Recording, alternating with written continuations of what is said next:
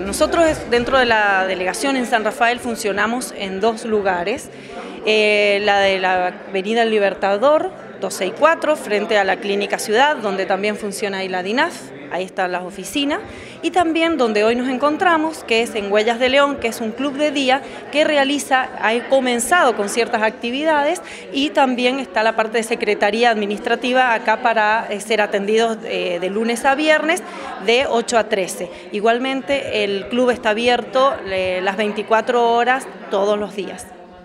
Siempre con gente siempre con gente recibiendo eh, este, este invierno ha sido tan crudo que bueno, eh, la gente poco ha podido asistir eh, y eso también nos permitió poner y acondicionar mejor el lugar. La obra la recibimos a fines de diciembre.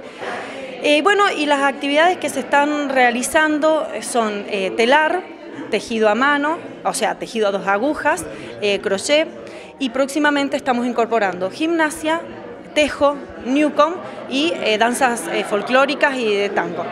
Así que, y hoy, que nos encontramos aquí en Huellas, es para comenzar con un ciclo de charlas, en este caso una charla taller sobre alimentación en la tercera edad, alimentación responsable y saludable en la tercera edad, para desterrar un poco mitos, ¿no?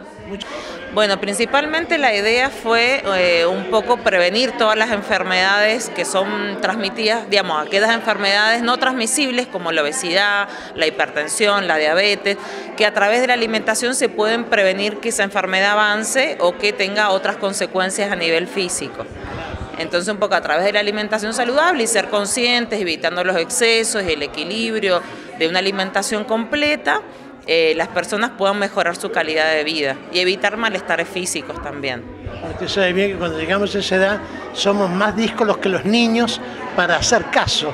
Claro. ¿Cómo supone usted que ellos van a aceptar eso?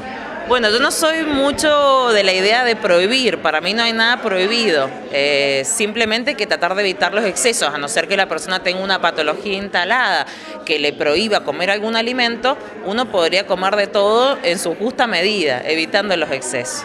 Entonces esa sería un poco la idea.